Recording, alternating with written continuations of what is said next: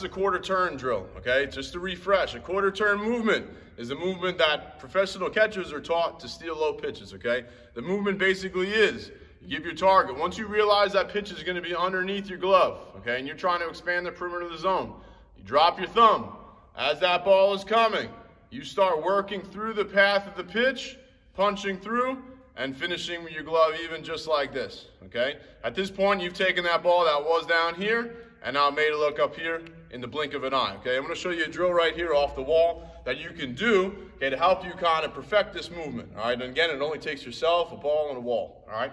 So here, I'm gonna bounce this ball off the wall. I'm gonna really work on keeping my glove kind of underneath the, the bounce and working through and finishing with a locked out arm here, still in that low pitch, okay? So here, oh, drop that one.